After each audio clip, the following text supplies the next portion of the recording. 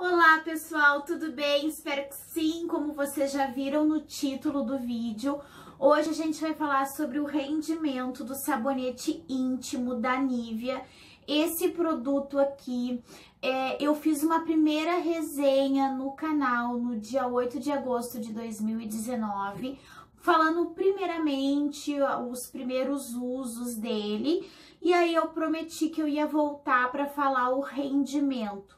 Então, de cara, eu posso dizer para vocês aqui que esse produto, ele rende 60 aplicações, ou seja, praticamente dois meses. E eu comprei nele R$14,90 na época. E hoje, no mesmo local, se eu for comprar ele, ele continua os mesmos R$14,90. Então, não mudou o preço, tá? Esse produto da Nivea aqui, gente, ele é um produto de uso diário. É aquele produto para tu deixar lá no box que tu só vai usar no momento em que tu vai tomar o teu banho. E ele é destinado para a região íntima e as pessoas falam muito que o produto não é indicado, que as ginecologistas não indicam e tem uma explicação sobre isso.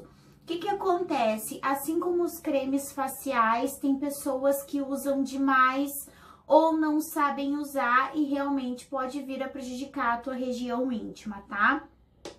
Esse produto aqui, gente, no primeiro vídeo que eu fiz, eu mostrei pra vocês a consistência dele. Ele é tipo um gelzinho, ele tem um leve cheirinho muito discreto, nada forte. E aí, quando tu vai fazer a aplicação, tu vai aplicar só na região externa, tu não aplica na região interna, é só na região externa. E ali te dá uma sensação de frescor, que tá limpinho, né? Que tu fica assim com uma sensação que tu tomou o teu banho completo. É muito gostoso. Eu não usava sabonete íntimo, comprei até para fazer o teste aqui no canal e realmente eu tô gostando bastante. Existem várias versões aí, uma próxima versão que eu vou testar é uma versão da Intimus Gel. O Intimus Gel, no vídeo até que eu falei anteriormente, eles têm os lencinhos umedecidos, porque é bom para carregar na bolsa. Esse aqui é ideal só para deixar no box do banheiro, porque se tu acabar levando na bolsa, tu não vai usar.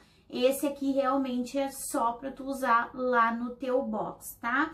Ele vem 250 ml, como eu disse, ele, ele é um produto suave, ele é livre de corante, ele é testado dermatologicamente. Então, se você tá pensando em é, sente algum tipo de desconforto na região íntima e quer tá usando um produto que vai te dar uma sensação de limpeza, de frescor, pode testar esse produto aqui do íntimo gel, porque ele te... do íntimo gel da Nivea, que ele vai te dar essa sensação de frescor aí que tu tá procurando.